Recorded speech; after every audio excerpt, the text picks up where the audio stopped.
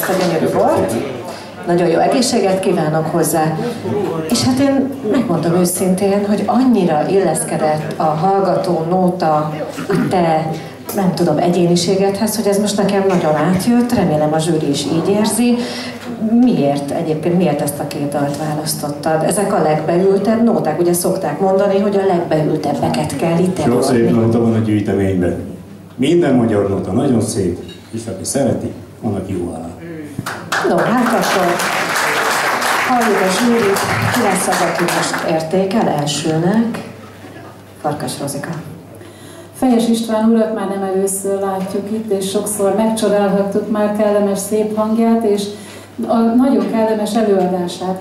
És valóban igazad már itt, mert ez a, ez a hallgató választás kifejezetten, mind a kettőt tetszett a, a csárdás is, de a hallgatónál én, én libabőrös voltam, bevallom, nagyon-nagyon szép volt az előadás, nagy átéléssel énekelte, nem túlozva, úgy és annyit, amennyi kell.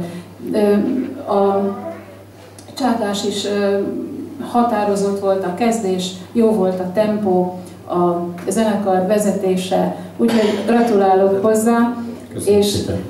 kívánom, hogy nagyon sokáig énekeljen még nekünk. Köszönöm. Köszönöm szépen ezeket.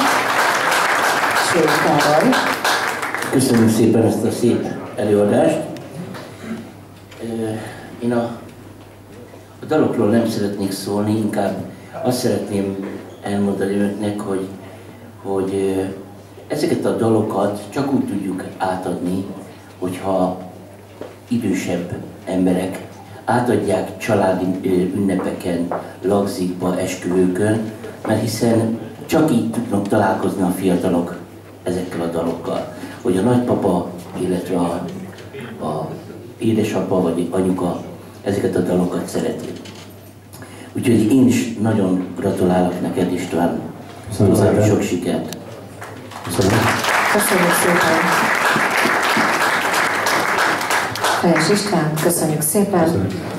És elérkeztünk a